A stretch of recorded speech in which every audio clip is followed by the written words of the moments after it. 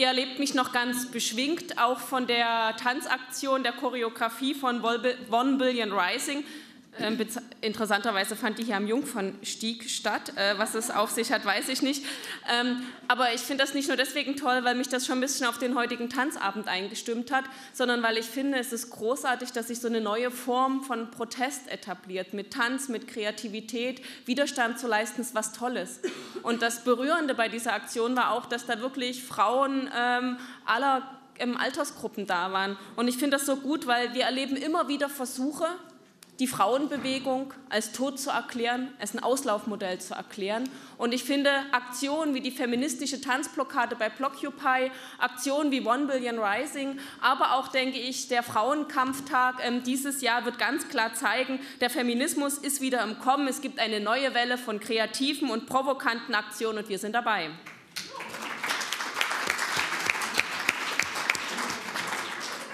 Ich bin gebeten worden, den Leitantrag einzubringen. Das mache ich morgen in aller Länge. Deswegen will ich heute eher mal die, ähm, ja, die Möglichkeit unter uns nutzen, noch was zur Entstehungsgeschichte zu sagen.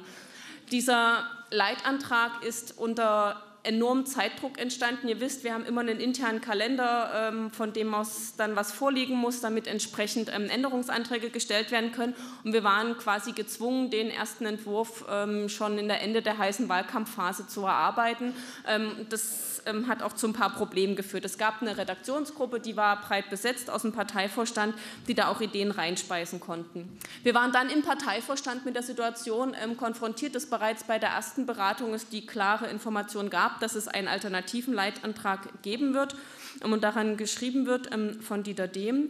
Und ähm, dann hat zwar der Parteivorstand sich klar entschieden, dass der Entwurf, den Bernd und ich vorgelegt haben, die Grundlage ist, aber unter diesem Eindruck, dass man gerade sich entschieden hat äh, gegen den anderen, wurde dann ganz am Anfang ein Passus reingestimmt. Und ich finde ja, dass dieser Passus, so wie er dargestellt worden ist, in seiner auch analytisch nicht ganz günstigen Form, ähm, eigentlich nicht den Geist des gesamten Programmentwurfs wiedergespiegelt hat, weil der war deutlich ausgewogener. Ähm, wir waren aber dann mit der Situation konfrontiert, dass die öffentliche Diskussion sich nur auf diesen Passus fokussiert hat. So. Und ähm, das war, naja, das war schon ähm, ein Problem. Und ich glaube, es war ehrlich gesagt eine verpasste Chance, weil wir haben unter uns so manche Kontroverse auszutragen. Aber ein Punkt ist auch klar. Viel mehr Kontroversen haben wir auszutragen mit der Politik, die Merkel in Europa fährt, mit der Europapolitik der Troika.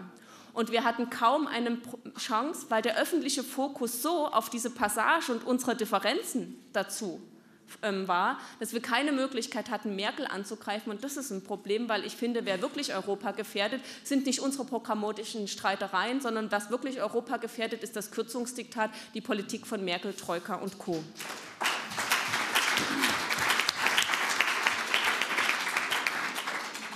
Und deswegen haben Bernd und ich dann dafür geworfen, geworben, dass dieser ähm, Passus, dieser umstrittene, rauskommt. Und ich bin dem Parteivorstand sehr dankbar, dass er sich mit ganz großer Mehrheit und einer Gegenstimme und einigen Enthaltungen am Samstag dazu entschieden hat, ähm, das zu streichen. Ähm, und ähm, wir haben uns darauf verständigt, dass unsere Europapolitik auf drei Grundpfeilern basiert. Da ist zum Ersten die klare Bejahung Europas als politischen Gestaltungsraum. Da ist zum Zweiten das Wissen, dass gerade wenn man die europäische Idee retten möchte, ähm, man die konkrete Politik der EU-Institutionen kritisieren muss. Immer dann, wenn sie zum Beispiel Selbstbestimmung in den Hintergrund stellt, immer dann, wenn sie Profite vor Menschen setzt, immer dann, wenn sie auf Aufrüstung verpflichtet und immer dann, wenn sie undemokratisch ist und in Hinterzimmern stattfindet. Und der dritte Pfeiler lautet ganz klar, wir reden nicht nur über das, was uns stört, sondern wir reden über das, was möglich wäre in Europa. Und ich finde, das ist auch das, was bei mir Lust weckt auf Europawahlkampf und generell die Überlegung, was wäre alles möglich in einem Europa. Und deswegen zu sagen, wir sind die Linke, wir bringen Alternativen rein und auch ganz klar zu sagen, auf uns wird es auch im nächsten EP ankommen. Weil ich weiß, die Abstimmungsverhältnisse im EP sind manchmal nicht so einfach nach Fraktionszwang wie im Bundestag, aber eins steht fest.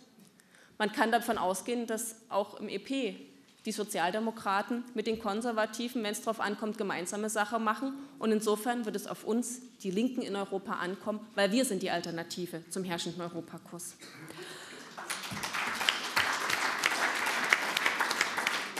Der Parteivorstand hatte also bereits am Samstag eine wichtige Baustelle abgeräumt und ich glaube, das war ganz gut, weil damit haben wir jetzt die Chance, ähm, auf dem Parteitag auch über ein paar ganz konkrete Alternativen unsererseits ähm, zu sprechen.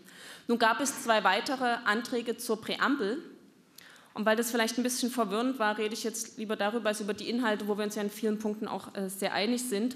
Es gab zum einen einen Antrag, ähm, der von 150 Leuten eingereicht war, wo Gabi Zimmer und Thomas Händel die ähm, Erstunterzeichnerin waren. Und dann gab es einen Antrag ähm, des Landesvorstandes Hessen. Bernd und ich haben immer gesagt, wir finden beides sind eine gute Grundlage.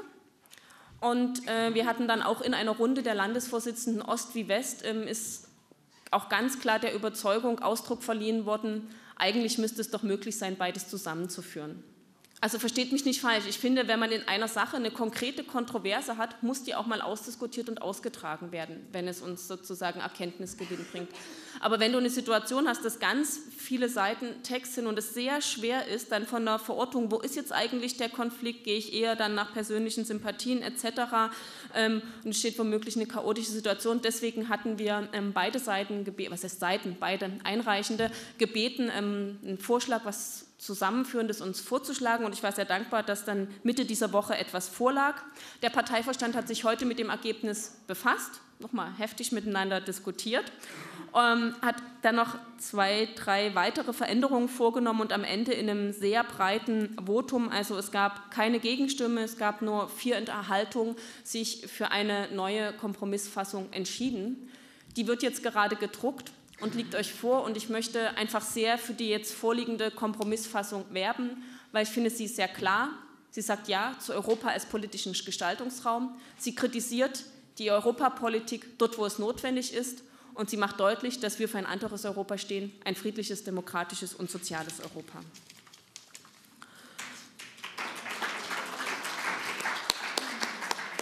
Aus Zeitgründen will ich jetzt gar nicht auf die vielen Punkte, die bereits angelegt sind, ähm, die auch, wo wir bewusst ähm, nicht nur Menschenrechte, sondern Frauenrechte im Blick ähm, hatten, eingehen, will vielleicht nur auf einen Punkt eingehen, weil manchmal haben wir ja selber so eine Haltung, dass nur dann spezifische feministische Themen angesprochen werden, wenn oben drüber groß Feminismus draufsteht. Ja, will nur sagen, dass bereits im ersten Entwurf in vielen Bereichen eine sehr also was drin war, ähm, was ganz gezielt Frauenprobleme angesprochen hat. Ich will das nochmal verdeutlichen an einem Beispiel. Momentan ist die Situation in Europa geprägt durch Fiskalpakt und ein Kürzungsdiktat. Und davon sind Frauen wie Männer und all diejenigen, die sich nicht in der Zweigeschlechterordnung verordnen wollen, ähm, betroffen. Aber es ist auch kein Geheimnis, dass das Kürzungsdiktat vor allen Dingen im öffentlichen Bereich zuschlägt, im Gesundheits-, im Sozialbereich. Und dort sind nochmal überproportional Frauen beschäftigt. Und wenn wir also immer wieder deutlich machen, wir stehen für ein nicht für das Europa des Fiskalpakts, wir stehen für ein Europa des Sozialpaktes, für ein Europa der sozialen Rechte, dann tun wir das im Interesse aller Menschen, aber auch ganz besonders, weil wir Frauenprobleme in den Blick nehmen. Und ähm, an dieser Stelle will ich einmal ganz herzlich Anja Meyer danken, weil in der Tat der erste Entwurf hatte eine riesen Leerstelle. Ähm, und ähm, dem Änderungsantrag, der dann von ganz vielen Frauen stürmungsübergreifend ähm, mit sozusagen verabschiedet worden ist, hat diese wichtige Leerstelle geführt. Ich bin sehr froh, dass sie auch im Parteiverstand weit angenommen worden und ähm, möchte deswegen schließen mit einem Zitat, was jetzt nicht übernommen worden ist, was ich finde aber sehr schön ist. Es ist von der niederländischen Philosophin und Feministin Rosie Braidotti. Sie schreibt, Europa lässt uns nicht träumen. Lasst uns trotzdem von einem anderen Europa träumen und beginnen wir, die Europäische Union, zu einem Europa der Freiheit, der Bewegung und des sozialen Fortschritts, zu einem Europa für alle zu verändern. Vielen Dank.